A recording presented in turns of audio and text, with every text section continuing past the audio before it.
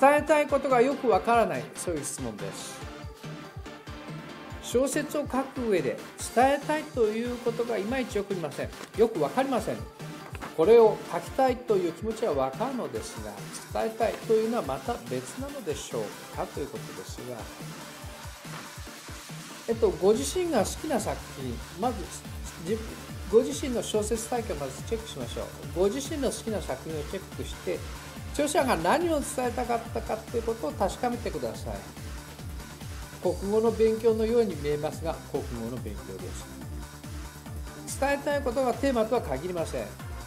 魅力ある登場人物を伝えたいのか魅力ある素材なのかあっと驚くテーマをアイデアを見つけたのかそれから面白い素材を見つけたのかあっと驚くトリックなのかそういったケースがいろいろあります。